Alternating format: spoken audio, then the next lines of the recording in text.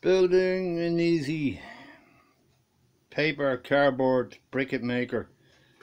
Uh, I've lost a lot of the footage yesterday so I can't bring it back. So as it goes on you just see what's getting done but I'll probably pour up some some sort of diagram up of sizes if it's interesting to anyone. Uh, but this is a this is your slave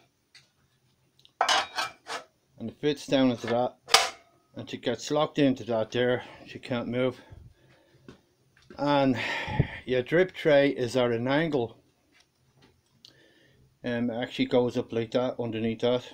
So any any water that comes out of seeps down to that and down to the holes down to here and then into a bucket. So you're recycling the water all the time I have to build the arm and the plunger for this and then give it a test.